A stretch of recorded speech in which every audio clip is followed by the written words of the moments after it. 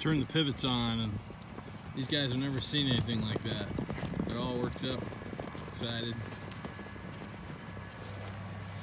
Seeing this uh, mechanized watering thing coming at them.